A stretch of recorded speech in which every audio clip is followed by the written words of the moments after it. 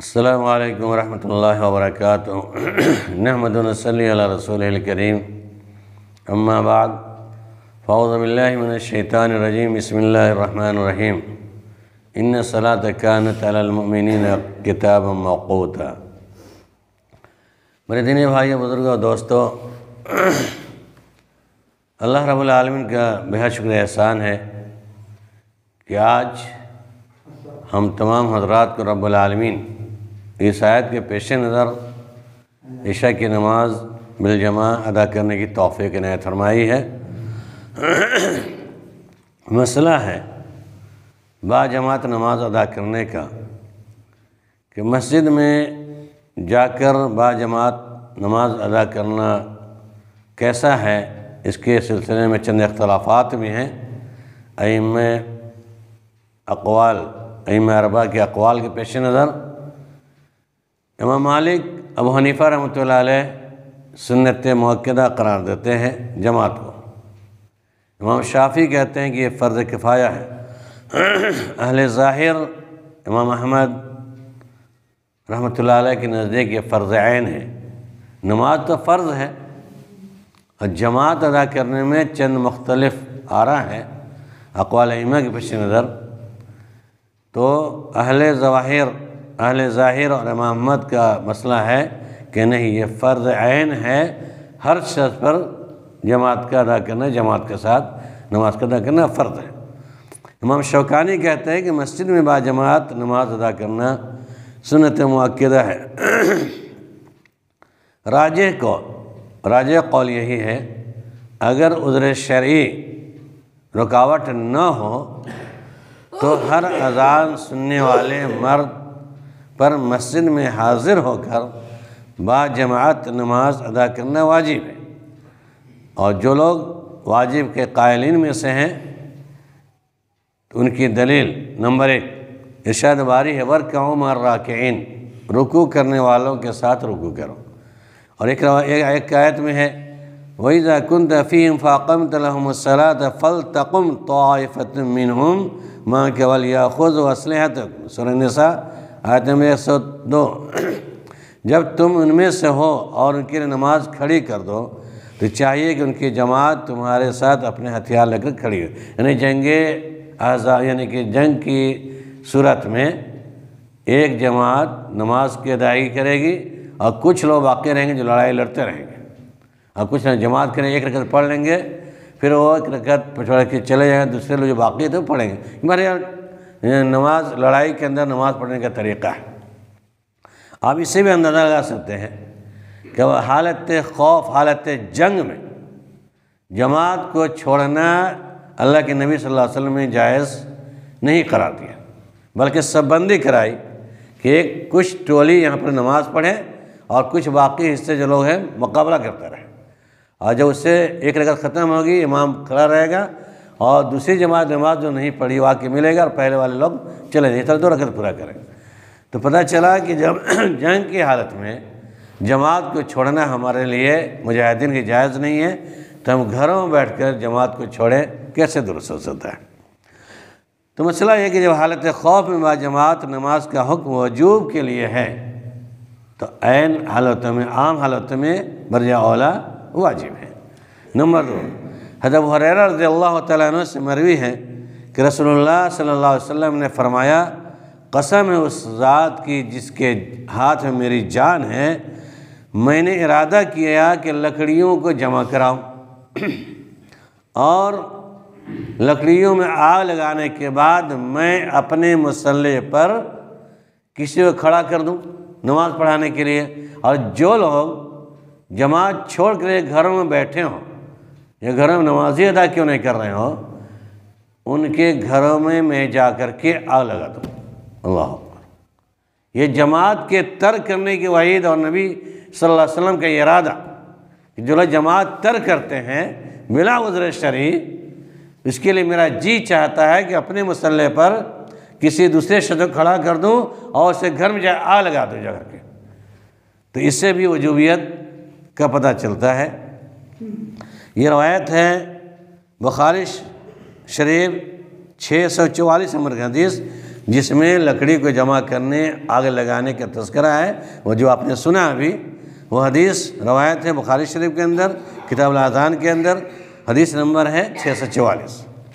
मुस्लिम अहमद की रवायत में कि आप सल्लल्लाहु अलैहि वसल्लम ने फरमाया, अगर ये बात न होती कि उनके घरों में औरतें बच्चे हैं तो मैं उनके घरों को जला डालता मजीद तफसीर के साथ, तफसील के साथ।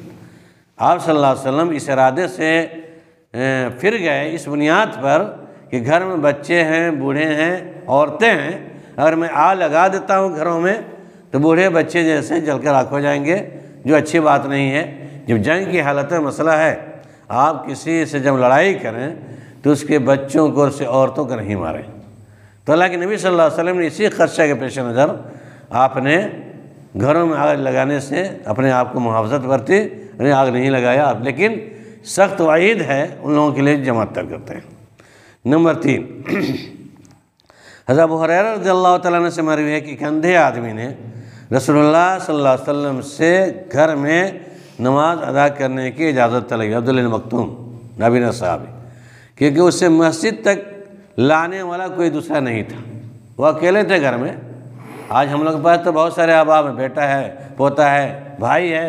और आप मस्जिद में आना चाहें, अंधे हैं लाना करे, किसी आग की भी नहीं चली जाए। अगर कोई मस्जिद में अंधा आदमी आना चाहे तो उसके औल, उसकी औलाद, उसके रिश्तेदार मस्जिद में लाने की कोशिश करते ला देते हैं। लेकिन वो साहबी रसूल जिनके पास कोई दूसरा नहीं था, उन्होंने कहा, अल्लाह के नबी सल्लल्लाहु अलैहि वसल्लम, मैं चाहता हूँ कि रास्ते भी टेढ़े टेढ़े हैं, उल्टे सीधे रास्ते जाने परेशानी होती है। कोई मेरे साथ मस्जिद में लेके जाने वाला नहीं है। तो क्या मैं घर में नमाज़ अदा कर लूँ? तो आप सल्लल्लाहु अलैहि वसल्लम ने उसकी मजबूरी और उज़्र को कबूल करते हुए कहा कि ठीक है, जाओ नमाज़ पढ़ लेना घर में। जब कुछ दूर गए तो अल्लाह के नबी सल्लल्लाहु अलैहि वसल्लम फिर बुलाया तालिया अब्दुल्ला मकतूम। आने के बाद पूछा, क्या हल समित निदा अजान क्या तुम अजान की आवाज़ सुनते हो? हल तस्म निदा, क्या तुम निदा आवाज़ को सुनता है? उन्होंने कहा हाँ नाम रसोल्ला तो आप सल्लल्लाहु ने फरमाया, अब तेरे लिए घर में पढ़ना दुरुस्त नहीं है, बल्कि मस्जिद में हाजिर होकर के जमात के साथ अदाई करनी वाजिब है। इस माना की भी हदीस अब्दुल्ला मखतूम रज़ी अल्लाह से मरवी है, जो सही मुस्लिम इबन माजा के अंदर है। तो उस चौथी दलील है इबन अब्बास नमा से मरवी है कि नबी सल्लल्लाहु अलैहि वसल्लम ने फरमाया कि क्या तुम अजान सुनते हो? ये रवायत है, मुस्लिम शरीफ के अंदर छः सौ चौवन यानी दो तीन हदीस लगातार तफसील के साथ, क्या तुमने अजान, या तुम अजान सुनते हो? इसकी रवायत है, मस्जिद ताकिद के साथ मुस्लिम की रवायत। बहरहाल ये चंद अहादीस हैं जिसकी बुनियाद पर और कुरान की इन सलात कान तलमिन ने किताब मौकूत है। बेश नमाज़ वक्त वक्त के साथ फ़र्ज़ कर दी गई है। और ये तमाम अहादीस आपके सामने जो मैंने रखे हैं, इसकी बुनियाद पर ये मसला वाजिब है कि अब किसी शख्स के लिए बिला उजर शरी ने चल फिर रहा है, चलता है, फिरता है। उसके अंदर सलाहियत है तो घर पे बैठ कर नमाज़ अदा करे तो नमाज़ उसकी नहीं होगी। अब कोई बंदा ये कहे, भाई फ़लाँ मतवली साहब से मेरा नहीं पड़ता है। फ़लाँ मस्जिद के ज़िम्मेदार है, ठेकेदार है, वो अपने आप को बपति समझता है और इस तरह की बातें करता है या या इमाम इस तरह की बात करता है जो शरीय के ख़िलाफ़ नहीं, उनके मिजाज के ख़िलाफ़। यह मतवली से या समाज में किसी से आपको झगड़ा हो जाए, न इतफाक़ी हो जाती है तो इसका मतलब नहीं कि मस्जिद मतवली से इख्तलाफ हो या किसी नमाजी से इख्तलाफ हो तो हम मस्जिद ही छोड़ दें कि हम नहीं जाएँगे मस्जिद के अंदर, और ऐसा होता भी है। जो बहुत मायूस है। मस्जिद के ज़िम्मेदारान के मामला अलग हैं। हमसे आपकी मुआफ़त हर मसाइल में नहीं हो सकते। लेकिन जहाँ तक फ़र्जियत और वजूबियत का मसला है, तर्क नमाज़ का मसला है, तर्क जमात का मसला है, और आप किसी ज़ाती बुनियाद पर, रंजिश की बुनियाद पर या किसी नफरादी अख्तलाफ की बुनियाद पर अगर आप जमात को तर्क करते या बहाना बना करके हम मस्जिद में नहीं जाएँगे हम जाएँगे तो फतना होगा, फसाद होगा, बिगाड़ होगा। उसका हम सबका कैसे करें? ये गलत बात है। बल्कि आप मस्जिद में आइए और अरई सलैक पीठ तीन दिन से ज़्यादा नहीं करना चाहिए। ऐसे भी बातें हो जाती है बातें। लिहाजा किसी की ज़ाती रंजिश की बुनियाद पर मस्जिद कोई शख्स छो, कोई शख्स छोड़ करके घर में नमाज़ पढ़ता है तो वो नमाज़ उसी मकबूल नहीं होगी। हदीस की रोशनी में, क्योंकि हदीस के अंदर अल्लाह के नबी सल्लल्लाहु अलैहि वसल्लम अंधे सहाबी का वाक़ आपने सुना।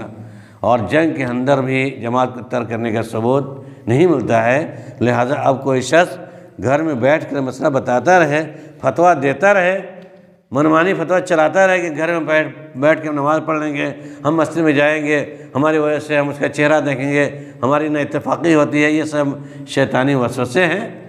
बल्कि आप किसी शख्स को दिखलावे के लिए नहीं, बल्कि अल्लाह की रज़ा की खातिर, अल्लाह को खुश करने के लिए और अल्लाह के हुक्म के अतबार से, नबी के फरमान के अतबार से मस्जिद में आकर नमाज़ अदा करते हैं तो ये वाजिब है करना चाहिए।